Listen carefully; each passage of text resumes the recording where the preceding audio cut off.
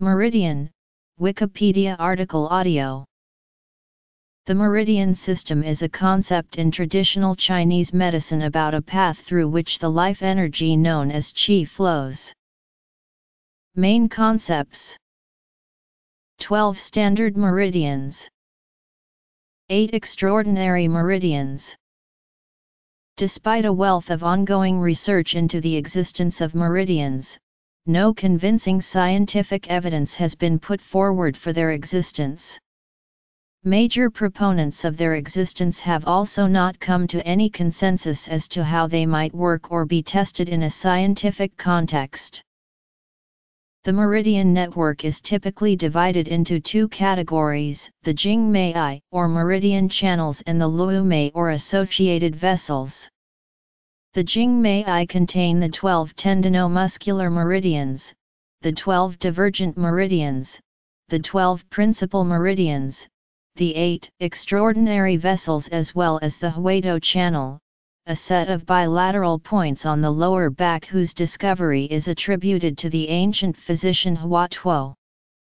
The collaterals contain 15 major arteries that connect the 12 principal meridians in various ways, in addition to the interaction with their associated internal organs and other related internal structures. The collateral system also incorporates a branching expanse of capillary-like vessels which spread throughout the body, namely in the 12 cutaneous regions as well as emanating from each point on the principal meridians. If one counts the number of unique points on each meridian, the total comes to 361, which matches the number of days in a year, in the moon calendar system. Note that this method ignores the fact that the bulk of acupoints are bilateral, making the actual total 670.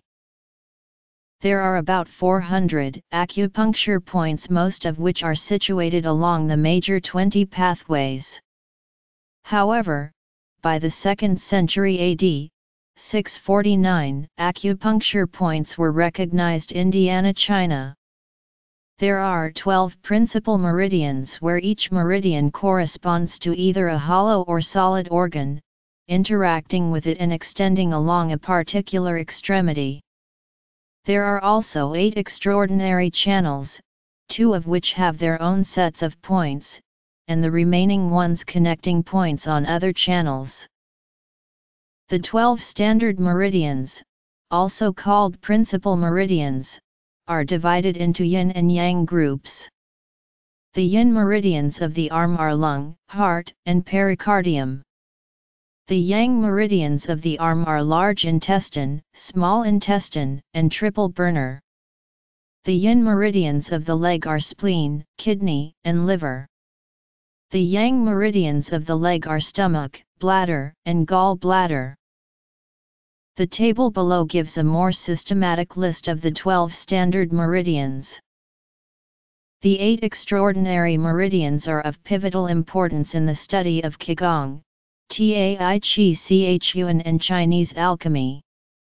These eight extra meridians are different to the standard 12 organ meridians in that they are considered to be storage vessels or reservoirs of energy and are not associated directly with the Zang Fu, i.e. internal organs. These channels were first systematically referred to in the Spiritual Axis chapters 17, 21, and 62, the Classic of Difficulties chapters 27, 28, and 29 and the Study of the Eight Extraordinary Vessels by Li Shi Zhen 1578. The eight extraordinary vessels are